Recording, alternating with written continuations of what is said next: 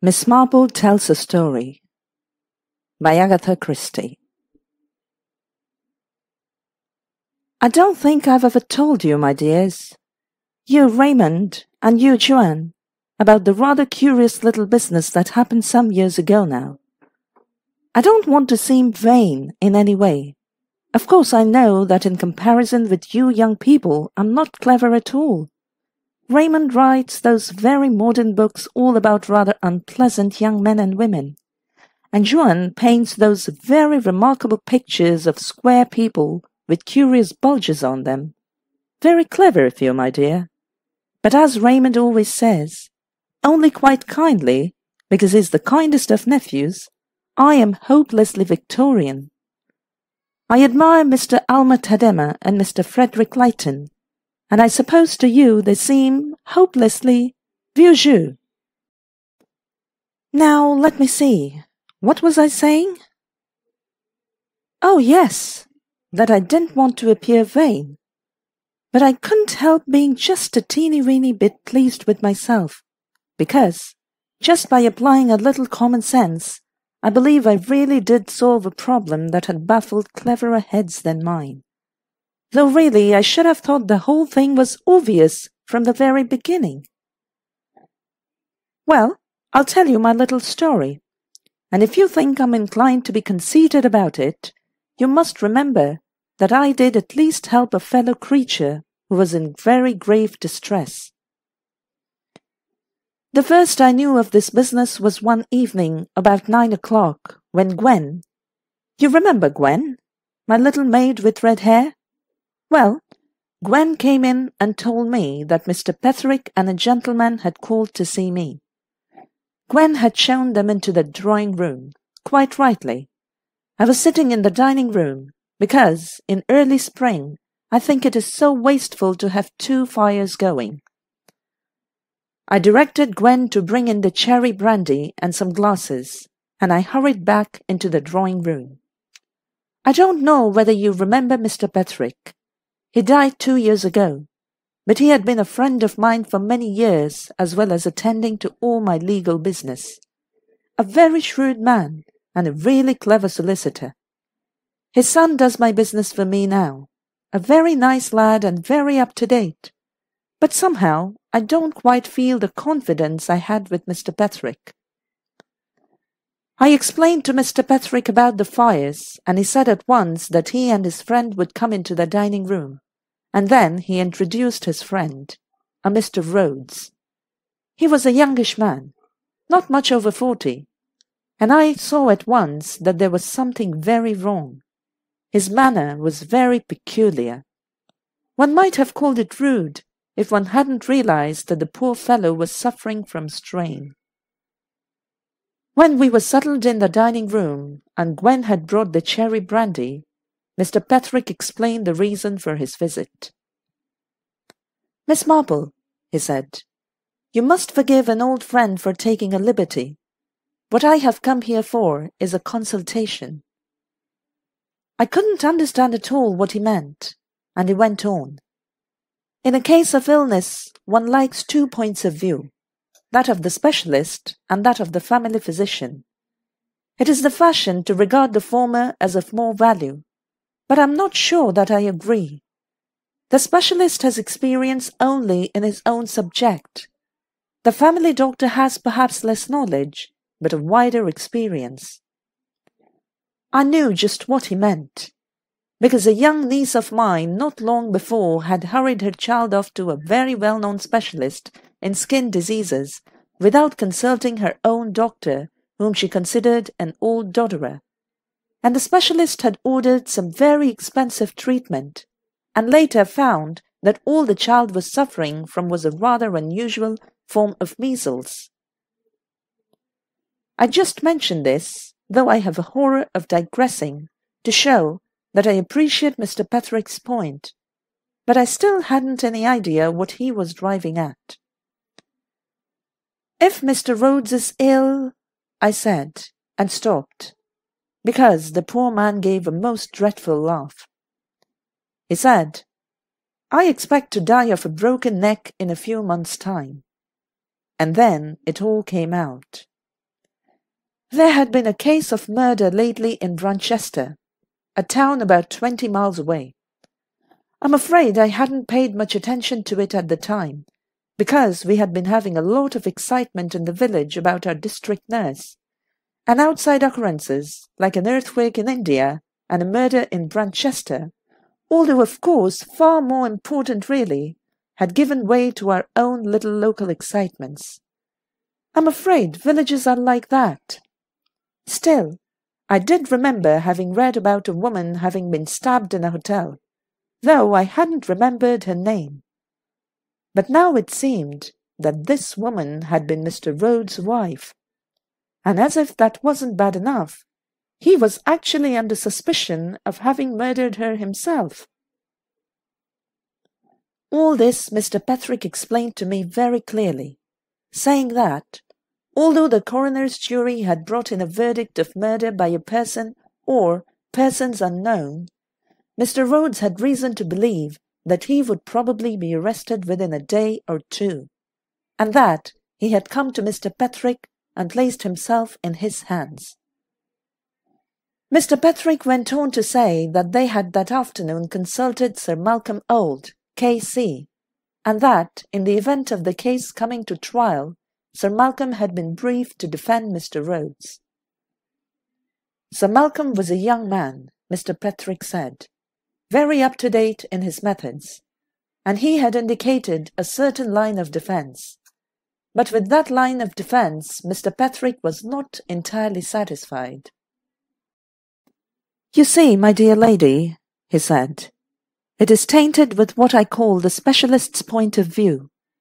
Give Sir Malcolm a case, and he sees only one point, the most likely line of defense. But even the best line of defense may ignore completely what is, to my mind, the vital point. It takes no account of what actually happened. Then he went on to say some very kind and flattering things about my acumen and judgment and my knowledge of human nature, and asked permission to tell me the story of the case in the hopes that I might be able to suggest some explanation. I could see that Mr. Rhodes was highly sceptical of my being of any use, and he was annoyed at being brought here. But Mr. Petherick took no notice, and proceeded to give me the facts of what occurred on the night of March the 8th. Mr. and Mrs. Rhodes had been staying at the Crown Hotel in Brunchester. Mrs. Rhodes, who, so I gathered from Mr. Petherick's careful language, was perhaps just a shade of hypochondriac, had retired to bed immediately after dinner. She and her husband occupied adjoining rooms with a connecting door. Mr. Rhodes, who was writing a book on prehistoric flints, settled down to work in the adjoining room. At eleven o'clock he tidied up his papers and prepared to go to bed. Before doing so, he just glanced into his wife's room to make sure that there was nothing she wanted. He discovered the electric light on and his wife lying in bed stabbed through the heart. She had been dead at least an hour, probably longer. The following were the points made. There was another door in Mrs. Rhodes' room leading into the corridor. This door was locked and bolted on the inside. The only window in the room was closed and latched. According to Mr. Rhodes, nobody had passed through the room in which he was sitting, except a chambermaid bringing hot water bottles. The weapon found in the wound was a stiletto dagger which had been lying on Mrs. Rhodes' dressing table. She was in the habit of using it as a paper knife. There were no fingerprints on it. The situation boiled down to this. No one but Mr. Rhodes and the chambermaid had entered the victim's room. I inquired about the chambermaid. That was our first line of inquiry, said Mr. Petherick. Mary Hill is a local woman. She had been chambermaid at the Crown for ten years. There seems absolutely no reason why she should commit a sudden assault on a guest. She is, in case, extraordinarily stupid almost half-witted. Her story has never varied. She brought Mrs. Rhodes her hot water bottle and says the lady was drowsy, just dropping off to sleep. Frankly, I cannot believe, and I'm sure no jury would believe, that she committed the crime. Mr. Petherick went on to mention a few additional details. At the head of the staircase in the Crown Hotel is a kind of miniature lounge where people sometimes sit and have coffee. A passage goes off to the right, and the last door in it is the door into the room occupied by Mr. Rhodes. The passage then turns sharply to the right again, and the first door round the corner is the door into Mrs. Rhodes' room. As it happened, both these rooms could be seen by witnesses. The first door, that into Mr. Rhodes's room, which I will call A, could be seen by four people two commercial travellers and an elderly married couple who were having coffee. According to them, nobody went in or out of door A except Mr. Rhodes and the chambermaid.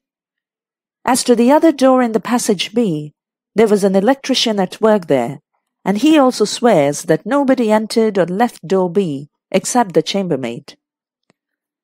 It was certainly a very curious and interesting case.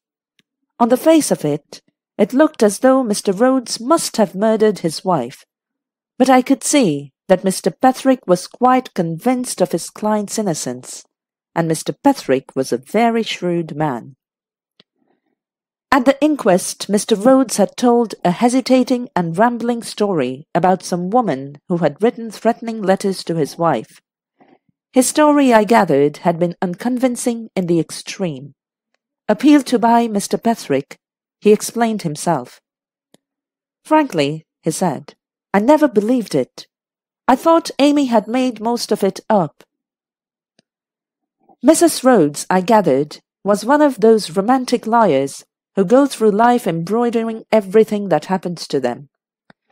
The amount of adventures that, according to her own account, happened to her in a year was simply incredible. If she slipped on a bit of banana peel, it was a case of near escape from death. If a lampshade caught fire, she was rescued from a burning building at the hazard of her life. Her husband got into the habit of discounting her statements. Her tale as to some woman whose child she had injured in a motor accident and who had vowed vengeance on her, well, Mr. Rhodes had simply not taken any notice of it. The incident had happened before he married his wife, and although she had read him letters couched in crazy language, he had suspected her of composing them herself. She had actually done such a thing once or twice before. She was a woman of hysterical tendencies who craved ceaselessly for excitement. Now, all that seemed to me very natural. Indeed, we have a young woman in the village who does much the same thing. The danger with such people is that, when anything at all extraordinary really happens to them, nobody believes they're speaking the truth. It seemed to me that that was what had happened in this case. The police, I gathered, merely believed that Mr. Rhodes was making up this unconvincing tale in order to avert suspicion from himself. I asked if there had been any women staying by themselves in the hotel. It seemed there were two a Mrs. Granby, an Anglo Indian widow, and a Miss Carruthers, rather a horsey spinster who dropped her G's. Mr. Petherick added that the most minute inquiries had failed to elicit anyone who had seen either of them near the scene of the crime, and there was nothing to connect either of them with it in any way. I asked him to describe their personal appearance. He said that Mrs. Granby had reddish hair, rather untidily done, was sallow faced, and about fifty years of age. Her clothes were rather picturesque, being made mostly of native silk, etc. Miss Carruthers was about forty, wore pince nez, had close cropped hair like a man, and wore mannish coats and skirts. Dear me, I said. That makes it very difficult. The Petherick looked inquiringly at me, but I didn't want to say any more just then. so I asked what Sir Malcolm Olde had said. Sir Malcolm was confident of being able to call conflicting medical testimony and to suggest some way of getting over the fingerprint difficulty. I asked Mr. Rhodes what he thought, and he said all doctors were fools, but he himself couldn't really believe that his wife had killed herself. She wasn't that kind of woman, he said simply, and I believed him. Hysterical people don't usually commit suicide. I thought a minute, and then I asked if the door from Mrs. Rhodes's room led straight into the corridor. Mr. Rhodes said no. There was a little hallway with a bathroom and lavatory.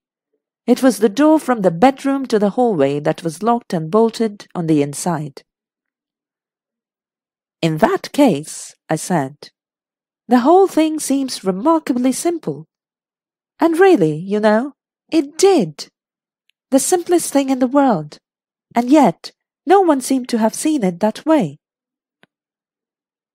Both Mr. Petherick and Mr. Rhodes were staring at me, so that I felt quite embarrassed. Perhaps, said Mr. Rhodes, Miss Marple hasn't quite appreciated the difficulties. Yes, I said, I think I have. There are four possibilities.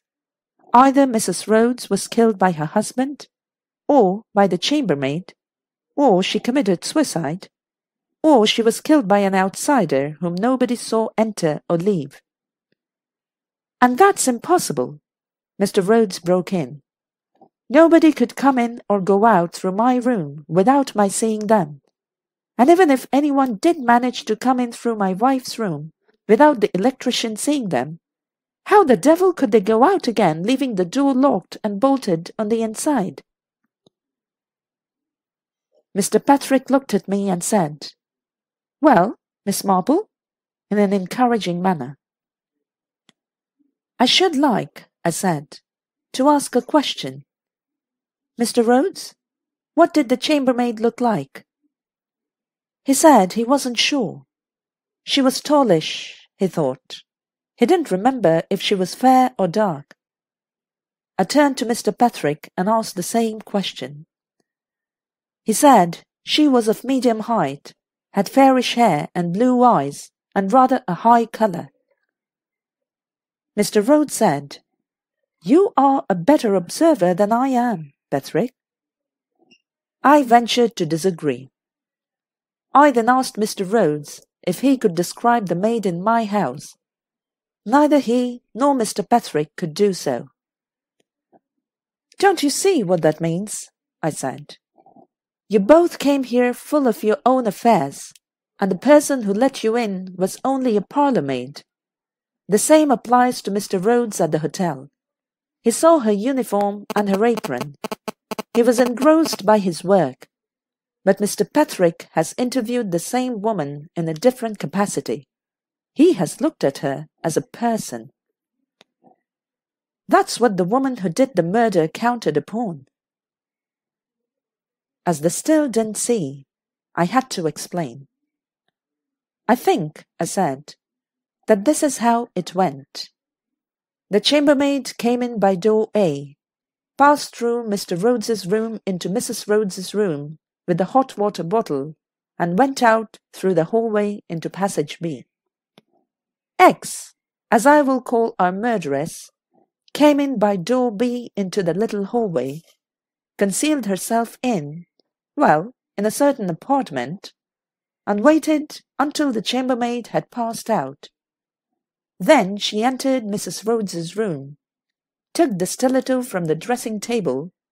She had doubtless explored the room earlier in the day, went up to the bed, stabbed the dazing woman, wiped the handle of the stiletto, locked and bolted the door by which she had entered, and then passed out through the room where Mr. Rhodes was working.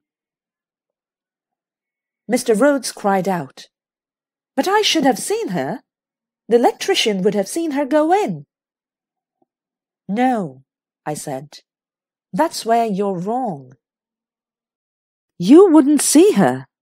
Not if she were dressed as a chambermaid. I let it sink in.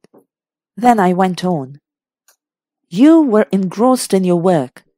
Out of the tail of your eye, you saw a chambermaid come in, go into your wife's room, come back, and go out. It was the same dress, but not the same woman. That's what the people having coffee saw. A chambermaid go in and a chambermaid come out. The electrician did the same. I dare say if a chambermaid were very pretty, a gentleman might notice her face, human nature being what it is. But if she were just an ordinary middle-aged woman, well, it would be the chambermaid's dress you would see, not the woman herself. Mr. Rhodes cried. Who was she? Well, I said, that is going to be a little difficult. It must be either Mrs. Granby or Miss Carruthers. Mrs. Granby sounds as though she might wear a wig normally, so she could wear her own hair as a chambermaid. On the other hand, Miss Carruthers with her close-cropped mannish head might easily put on a wig to play her part. I dare say you will find out easily enough which of them it is. Personally, I incline myself to think it will be Miss Carruthers. And really, my dears, that is the end of the story. Carruthers was a false name, but she was the woman all right. There was insanity in her family. Mrs. Rhodes, who was a most reckless and dangerous driver, had run over her little girl, and it had driven the poor woman off her head. She concealed her madness very cunningly, except for writing distinctly insane letters to her intended victim. She had been following her about for some time, and she laid her plans very cleverly. The false hair and maid's dress she posted in a parcel first thing the next morning. When taxed with the truth, she broke down and confessed at once. The poor thing is in Broadmoor now. Completely unbalanced, of course, but a very cleverly planned crime. Mr. Petherick came to me afterwards and brought me a very nice letter from Mr. Rhodes. Really, it made me blush. Then my old friend said to me, Just one thing. Why did you think it was more likely to be Carruthers than Granby? You had never seen either of them. Well, I said, it was the G's. You said she dropped her G's. Now, that's done by a lot of hunting people in books. But I don't know many people who do it in reality, and certainly no one under sixty. You said this woman was forty. Those drop G's sounded to me like a woman who was playing a part and overdoing it. I shan't tell you what Mr. Petherick said to that, but he was very complimentary and I really couldn't help feeling just a teeny weeny bit of pleased with myself. And it's extraordinary how things turn out for the best in this world. Mr. Rhodes has married again. Such a nice, sensible girl. And they've got a dear little baby. And, what do you think? They asked me to be the godmother. Wasn't it nice of them? Now, I do hope you don't think I've been running on too long. The end.